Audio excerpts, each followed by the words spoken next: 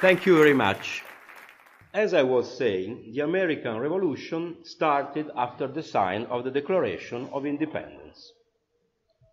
At uh, its origins, it didn't have war intention, but it was a rebellion against the high taxes. Uh, these conferences are so boring. They always make me fall asleep. Come on, don't be so negative. There's only one hour left. Let's hope it ends quickly. and uh, the strongest European powers became involved.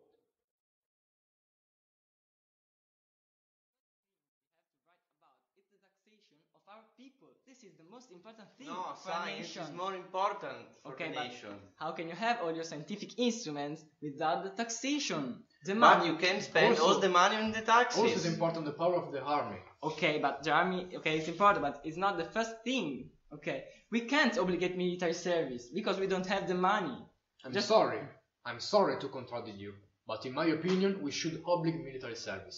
A good nation is based upon the strength of its soldiers. Okay, but how can you without the taxation from our people? And uh, if everybody is a soldier who gave the money to us, This is true. But we must remember our wars ruin our people.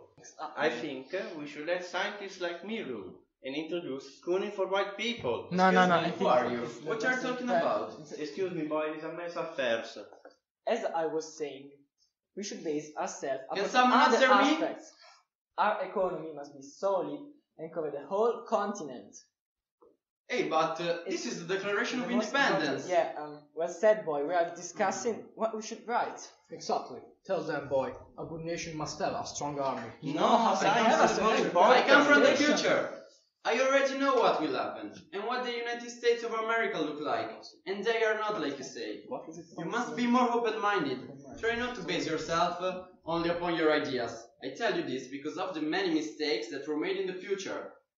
What are you talking about? They made a time machine without me? Um, I don't really Impossible. know I ended up here. What are you saying, boy? Are you crazy? Here, take a look at this. There are 50 states which are part of the Federation, not only 13. They are 50, not But- Yeah, there are 50 stars. But how is it possible? But tell us about your America from your future. Well, uh, it's based uh, upon the basic rights of life, liberty, pursuit of happiness, Life. That's Liberty is very important. push it to and also equal rational and religious rights. Equal rational And and religious religious rights. rights. Life, liberty, pursuit of happiness, equal racial and religious rights. Very important. You know, I think, I think it's perfect. perfect. It's perfect. Thank you. Thank you for your help, boy. We'll write this in the declaration. This is what we want for our future generations. And that's how the founding fathers signed the Declaration of Independence. Does anyone know their names? um, um, Good, good. You there. What do you want to say? me? Well, uh, I. Who were the founding fathers?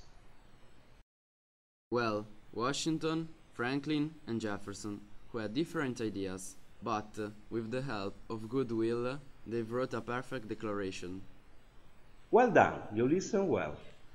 We must remember that in order to obtain these rights, many people have fought for them, and it is thanks to them now USA is a great country.